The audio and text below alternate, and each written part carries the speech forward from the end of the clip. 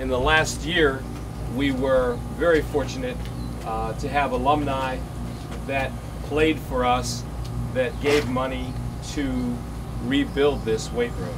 So we have this terrific facility and we're very blessed to have Phil Matus, who was captain of our 2009 National Championship football team, to be running the weight room.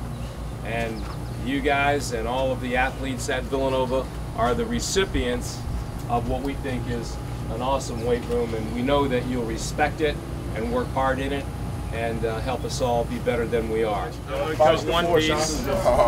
Okay, you cut the other piece. Shy, I was snipping the whole thing. No, don't snip the whole thing. And Shy, you cut the rest. that shot. Snip that shot, Snip that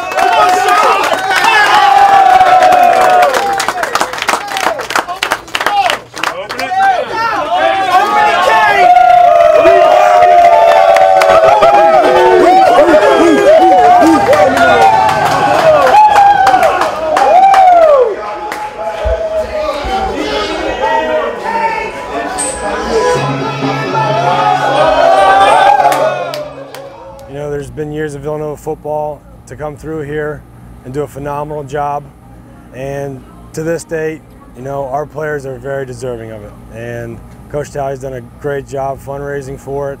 And, uh, you know, to christen it on the first workout of summer session two, when the whole gang's back, is, is, is truly awesome. I think we're always excited to get a little work in. So adding this new weight room's a, you know, a better experience, I guess. To have uh, new equipment, new stuff.